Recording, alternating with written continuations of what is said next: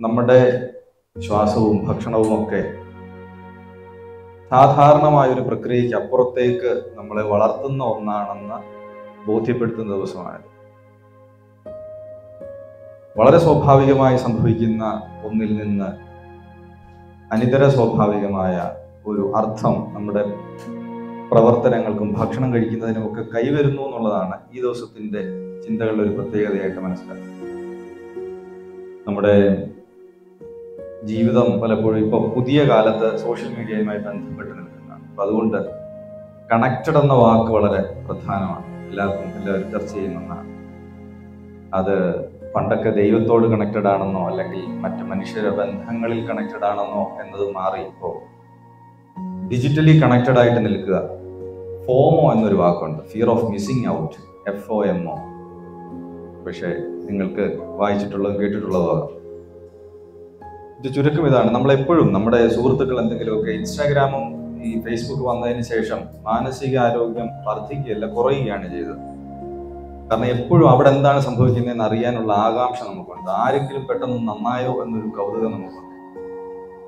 അവരൊരു ഫോട്ടോ ഇടുമ്പോൾ ഒരു ഭക്ഷണത്തിന്റെ ഫോട്ടോ ഇടുമ്പോൾ രണ്ടുപേര് ചിരിക്കുന്ന ഒരു ഫോട്ടോ ഇടുമ്പോൾ അവന്മാർ ചിരിക്കുന്ന സ്ഥലത്ത് ഞാൻ ഇല്ലാതായി പോയല്ലോ.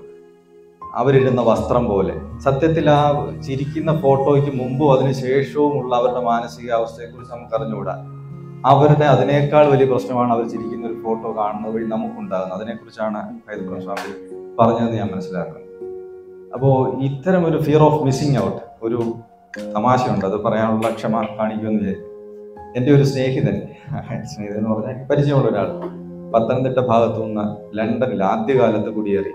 ഇപ്പൊ ധാരാളം മലയാളികൾ ലണ്ടനിൽ പോകുന്നുണ്ട്. അതുകൊണ്ട് വലിയ കൗതുകമില്ല. ഒരു പത്ത് ഇരുപത്തഞ്ച് വർഷം മുമ്പ് കുടിയേറിയ മലയാളികളിൽ ഒരാൾ ആദ്യകാല മലയാള കുടിയേറ്റങ്ങളിൽ അയാൾ അവിടെ പോയി കഴിഞ്ഞപ്പോൾ അയാളുടെ നാട്ടിൽ നിന്ന് അയാളുടെ ഒരു സുഹൃത്ത് അന്നൊക്കെ ഫോൺ വിളിക്കണമെങ്കിൽ നാട്ടിൽ തന്നെ അങ്ങോട്ടും ഇങ്ങോട്ട് വിളിക്കണമെങ്കിൽ പൈസ ചെലവാ.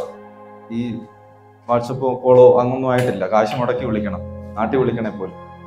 ഇയാളെ അങ്ങോട്ട് ലണ്ടനിലേക്ക് വിളിക്കാൻ തുടങ്ങി. ആഴ്ചയിൽ ആഴ്ചയിൽ. നാട്ടിൽ വെച്ച് ഇത്രയും സ്നേഹമൊന്നും അയാൾ കാണിച്ചിരുന്നില്ല ഒരു രണ്ടു മാസം കഴിഞ്ഞപ്പോൾ ലണ്ടനിൽ താമസിക്കുന്ന സുഹൃത്താണ് എടാ ഞാൻ നന്നായിട്ടില്ല ഇതുവരെ. ആവുമ്പോൾ ഞാൻ പറയാം നീ പൈസ കളയണ്ടെന്ന് പറഞ്ഞു. എന്ന് പറഞ്ഞാൽ ചില സൗഹൃദങ്ങൾ മനുഷ്യന്റെ പ്രശ്നം ഇതാണ് മറ്റാരെങ്കിലും ഒക്കെ നന്നായോ?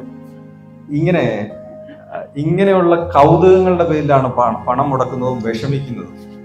നമുക്ക് പരിഹരിക്കാൻ പറ്റാത്തതും നമ്മുടെ കൈ നിൽക്കാത്തതുമായ പ്രശ്നങ്ങളുണ്ട് ജീവിതത്തിൽ. അസുഖങ്ങൾ വരുന്നത്. പക്ഷേ മഹാഭൂരിപക്ഷം നമ്മുടെ മാനസിക ക്ലേശങ്ങൾക്കും കാരണം നമ്മുടെ സങ്കല്പത്തിലാണ്.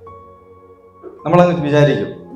എന്നിട്ട് നമ്മൾ അതിന് വളരെ ഓമന പേരിട്ട് നൊസ്റ്റൾജിയാണ് അതാണ് ഇതാണ് അല്ലെങ്കിൽ ബന്ധങ്ങളിലെ അതാണ് ആനയാണ് ചേനയാണെന്നൊക്കെ പറയും. സത്യത്തിൽ അതൊന്നുമല്ല. നമ്മൾ സങ്കല്പിക്കും. ഓഹ് ഈ എന്റെ മന ജീവിതം മുഴുവൻ നശിച്ചു. വലിയ പ്രശ്നമാണ്. അവരങ്ങനെ ചിന്തിക്കുന്നു ഇവരിങ്ങനെ ചിന്തിക്കുന്നു. എന്നോട് ഇവർക്ക് സ്നേഹമില്ല. അവർ ചക്കപ്പഴം കഴിച്ചപ്പോൾ എനിക്ക് അതിന്റെ ഫോട്ടോ തന്നില്ല. ഇങ്ങനെ ഈ ഒരു അതിന്റെ പേരിൽ വേണമെങ്കിൽ ആത്മഹത്യ ചെയ്യാൻ പോലും നമ്മുടെ കുട്ടികൾ തയ്യാറാണ്. ധാരാളം സംഭവങ്ങൾ അങ്ങനെ ഉണ്ടാവും. ഈ ശ്വാസവും ഭക്ഷണവും സംഗീതവും ഒക്കെ മനുഷ്യനെ മെച്ചപ്പെട്ട മനുഷ്യരാക്കി മാറ്റുന്ന ഒരു പ്രക്രിയയുടെ ഭാഗമാണെന്ന് നിരന്തരമായി മനസ്സിലാക്കാൻ നമുക്ക് സാധിക്കുക എന്നത് ഏറ്റവും പ്രധാനമാണ്. ഈ ജൈവമായ പ്രകൃതിയെ വളരെ സ്വാഭാവികമായ ഒന്നിനെ മികച്ച ഒന്നാക്കി മാറ്റുക എന്നതാണ്. അത്തരത്തിൽ ചെയ്യുന്ന പുണ്യകർമ്മങ്ങളിൽ ഒന്നാണ് ഈ സ്ഥാപനവും ഇവിടെ പ്രവർത്തിക്കുന്നവരും നിരന്തരം ചെയ്തുകൊണ്ടിരിക്കുന്നത്. നമ്മുടെ മനസ്സിനെയും ശരീരത്തെയും ഭക്ഷണം കൊണ്ടും ശ്വാസം കൊണ്ടും ചിന്ത കൊണ്ടും ചിരി കൊണ്ടും കൂടുതൽ മെച്ചപ്പെട്ടതാക്കാൻ നമുക്ക് കഴിയട്ടെ. ലോകത്തിന് അത്തരം നന്മ ധാരാളം സംഭവിക്കട്ടെ എന്ന് ആത്മാർത്ഥമായിട്ട് ആഗ്രഹിക്കുന്നു. ജീവനീയം